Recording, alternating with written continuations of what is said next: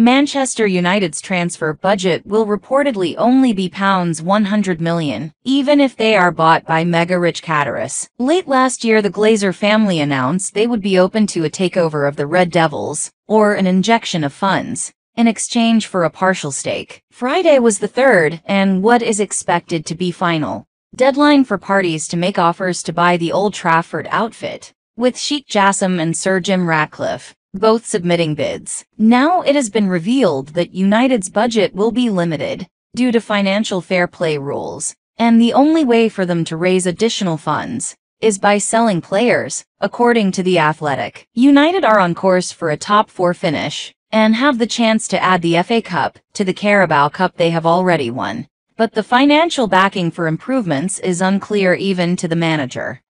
Asked if he has been told he has the funds to do what he wants to this summer, irrespective of how the takeover process pans out, Erik Ten Hag said, No, I don't have. I don't have influence on that.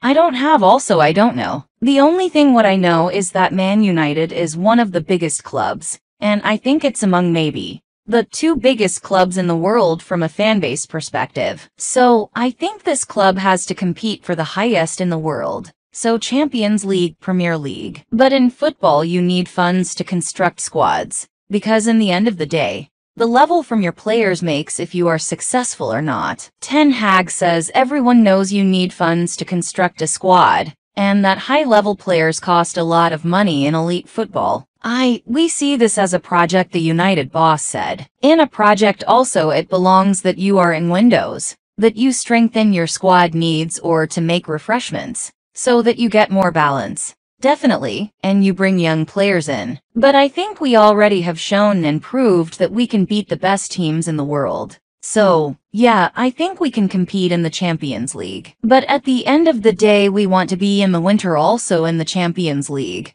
and we want to compete and knock them all out. So then we have a way to go.